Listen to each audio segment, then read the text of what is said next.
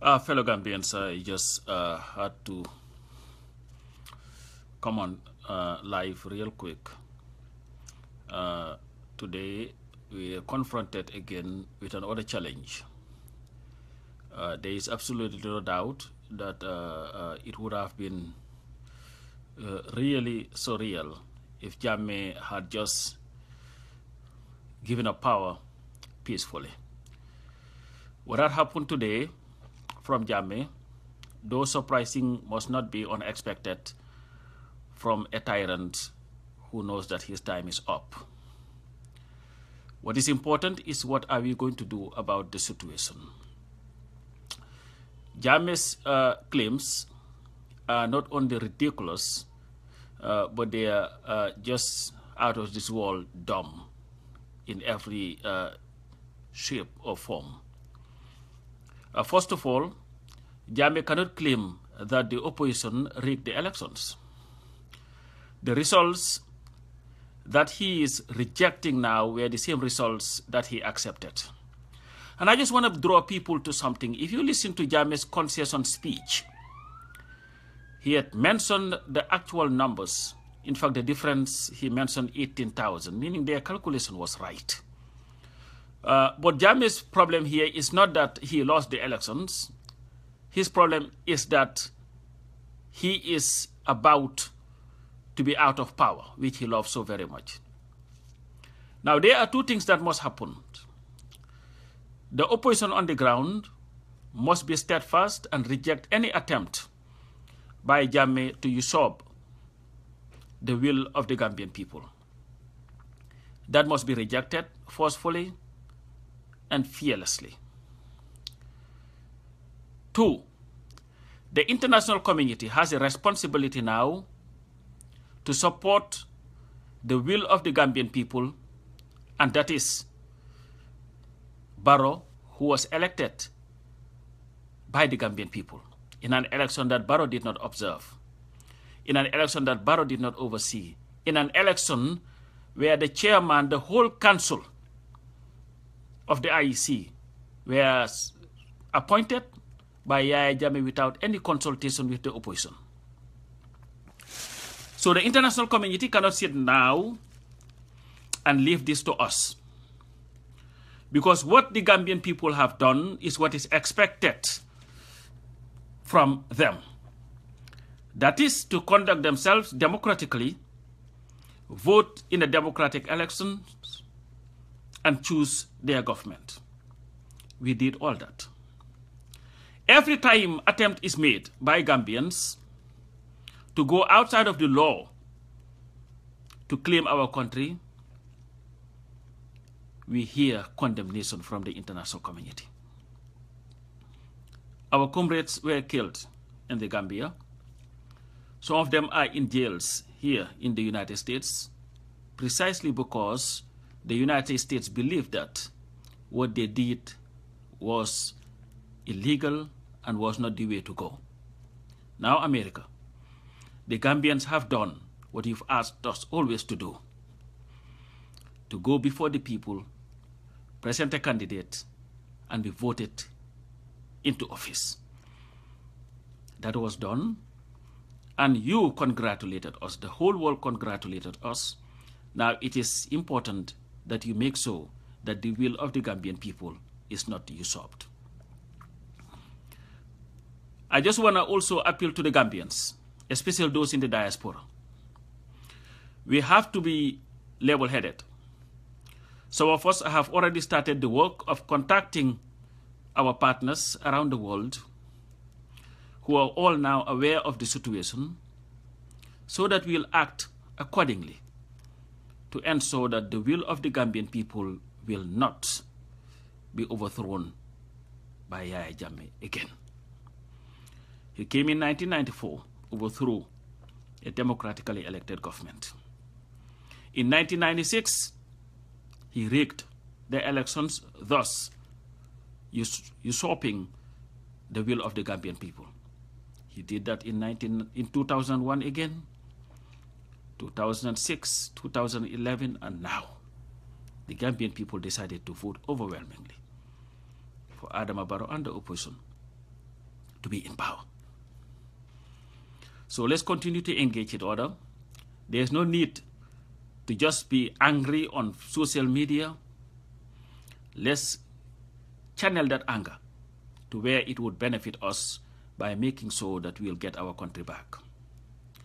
Yahya Jammeh has no respect for the Gambian people. He doesn't care about the Gambian people. Because Yahya is ready to plunge our nation into bloodbath. But Yahya also must understand that the only things the Gambians have to lose are our chains. Chains of tyranny, chains of dictatorship, chains of impunity, harassment, torture, the killings. The Gambians have had enough of your dictatorship. Yeah, Jammeh, this is why they voted you out. But you are too stupid to understand your stupidity. But Gambians are tired of you. And to the Gambians on the ground, I'm not asking anybody to do anything foolish. But I want all Gambians to understand that you must not allow your rights to be abrogated. We all see one week of freedom,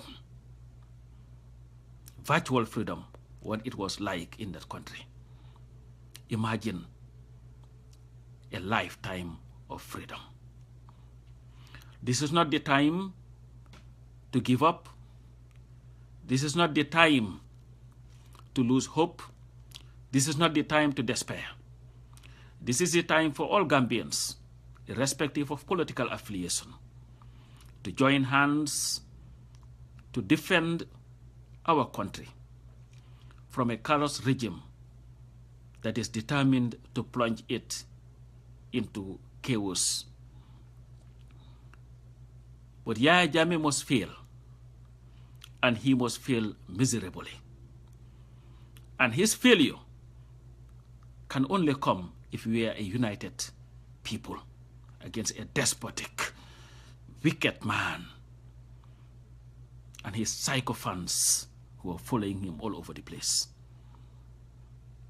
The international community will only come to our aid if they know that we are determined and unified. We have to close ranks and work hard to liberate our country and our people. 22 years is too damn long to deal and continue to deal with Jammeh's foolishness. Jammeh has now lost every opportunity of being treated like a human being. I'm not talking about a former president, a human being. So this is why we must be steadfast. And to the military, you have your guns, you've seen your new promotions. But remember that you must not kill for Yahya Jammeh. Because if you do, he may end up killing you like he did the Ilo Jalos, Jalos and others. So I urge you to stand with the gallant people of the Gambia, the peaceful Gambians who went to those polls, lined in the sun, under very, very serious conditions, to exercise their rights to enfranchisement by voting in a government of their choice. So all Gambians who are patriotic must defend the choice of the majority of Gambians who voted in those elections. So my fellow Gambians, I just don't want us to despair and act like the world is over. It's not. Because what this could also mean now is that Yahya Jammeh would now be treated like the criminal that he is and not a dignified human being. He has no dignity in him, he has no integrity, and he has zero respect for the Gambian people. We will not allow him to plunge our nation into bloodbath, but we will not also allow him to usurp the overwhelming view of the Gambian people who decided that they wanted change. So, my question to everybody is what are you going to do to ensure that the will of the Gambian people is respected, protected, and becomes the order of the day come January when Barrow should be inaugurated as the third president of the Republic of the Gambia. We can sit here and pontificate as to what the opposition was supposed to do control the narrative, control the army, go to GRTS. Let's remember the opposition is a legal entity that operates within the gambits of the law. They did not come to overthrow the constitution. They could do what they could do, control what they could control. But we must join them, give them hope, give them courage, give them the support to continue this journey of liberating our people. Please, let's work hard. Let's come together. Let's fight for the total liberation of our country because the Gambia is at a crossroads. This is the deciding moment of the Gambia that we will have tomorrow. If Yahya Jammeh should succeed, can you imagine what he would do to people who were openly in the streets defying him, criticizing him? Do we want to give Yahya Jammeh the opportunity of open revenge against his enemies and perceived enemies? You've seen what he has done to Gambians for 22 years, and we must never allow that to be the case again. So thank you also very much, and let's get to work again. What are you going to do? What are you willing to do to ensure that justice will prevail and the will of the Gambian people will be respected and protected? Thank you so very much. The struggle continues.